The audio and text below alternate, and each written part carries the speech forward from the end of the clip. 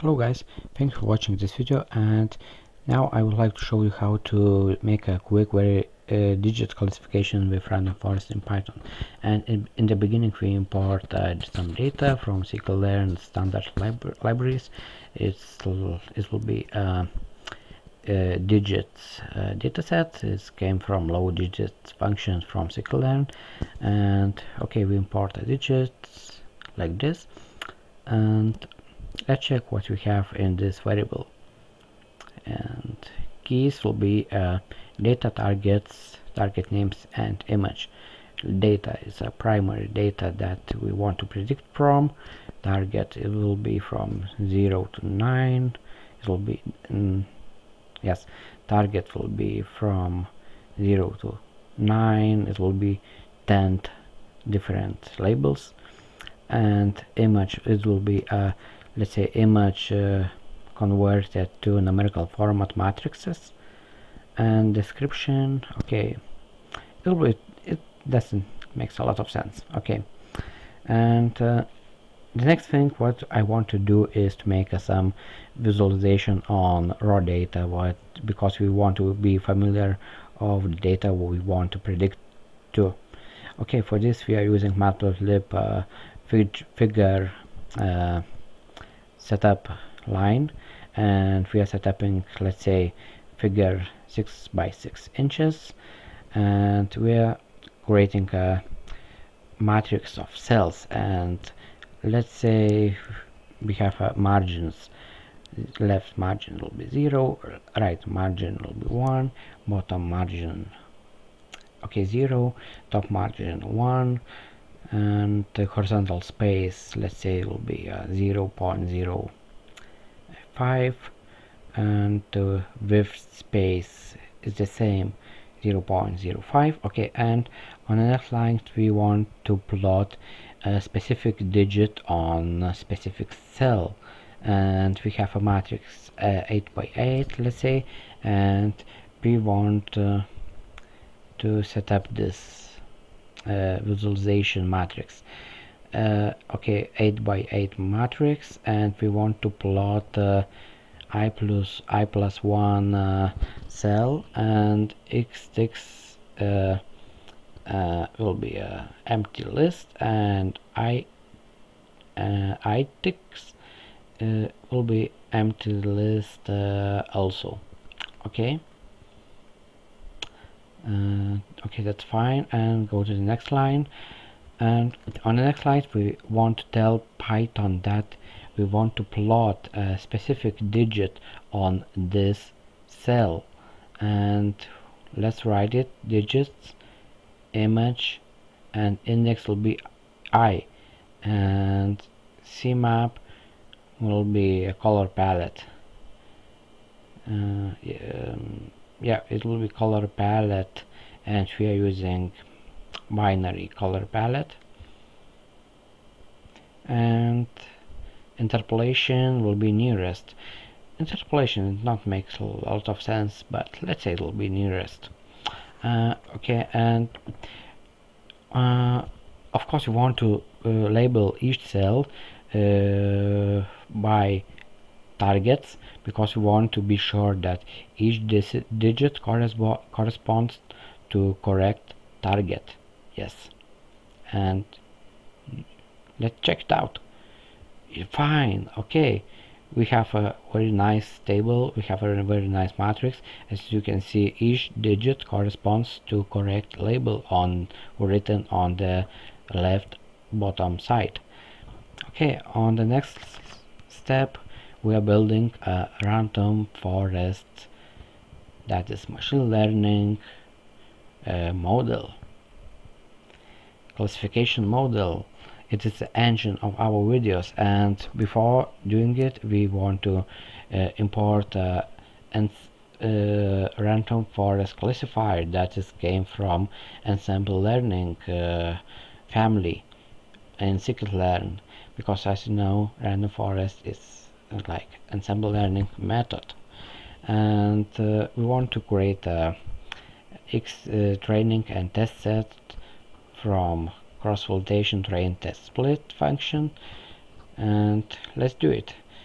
We are creating now training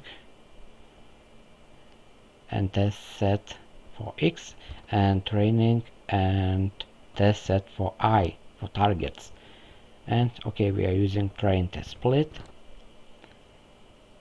Yes and we for this we are using raw data and and targets. Targets I mean is uh, uh, classes like 1 2 3 4 5 6 7 8 uh, okay we have uh, error in targets okay and random state. We have a some mistaken in random state. Um, let debug it. Random state not like this. Um, underscore okay. And and and uh, yep. Okay uh, I know uh, we have uh, use uh, equal instead of brackets. Okay. That's okay it's working. We have a train and test split on our task and on the next line we want to create a model and we're using random forest classifier. And arguments will be n_estimators will be thousands. It will be like thousand voters on our model. And we want to train this model by raw data by training set.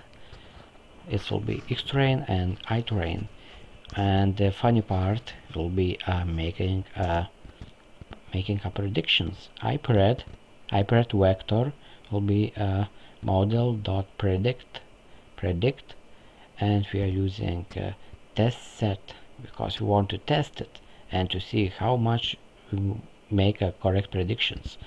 And for this we want to create a classification report. Uh, classification report will show us uh, how well our model is performing. And to doing it we importing a metrics model from scikit-learn and let's print a classification report for our model. Yes. Okay.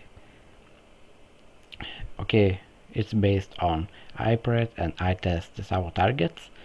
Okay and as you can see in this table we have a precision recall f1 score and support values in very high level and you can check it out what is uh, precision uh, yes what is a precision recall uh, f1 score and support. You can pause this video and read it or google it. Your choice. Yeah okay and what we have next is to analyze a confusion matrix. A confusion matrix will tell us uh, which uh, prediction our model do uh, doing good and which prediction is doing not so good. And we want to make a visualization on heat map. And for this we uh, first of all import a confusion matrix model from scikit-learn metrics like this. And we are using a seaborn visualization model. And let's create a confusion matrix from scikit-learn we are using itest and ipred because is our targets it's our predictions. And okay seaborn have a heat map function very cool function and argument will be a transponent matrix. We want to visualize visualize uh, cells in squares. Annotation will be true and formatting formatting will be a digits. And we don't need c bar I think. Okay and x label it will be a true label. Yep. and i label.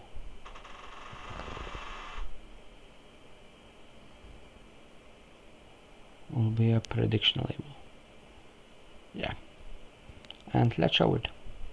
And as you can see we have a confusion matrix and uh, we have in very high values in orthogonal line. That means that we have a very good results with uh, a lot of prediction will be make well. And we have a very low values in black area. That mean uh, is, and even zeros a lot of zeros in this black area. That means uh, we have a very good results and uh, even uh, small numbers and bad uh, predictions. That means that our model is quite good and thank you for watching. I'm sure that you can develop this model even better but this is like a skeleton of the random forest model for classification. Thank you